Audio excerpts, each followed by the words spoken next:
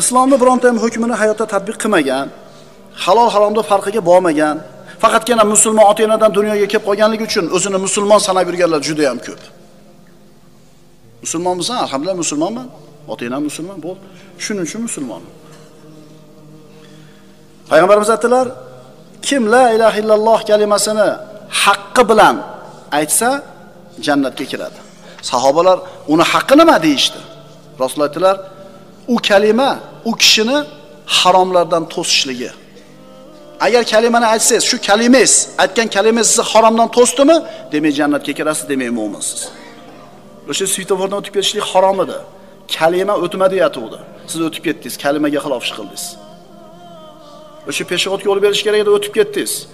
Kalima sizga to'xta deyatuvdi tijoratingizda o'sha yolg'onni gapirma deyatuvdi kalima. Demak haqqini ado qilmadingiz siz. Islom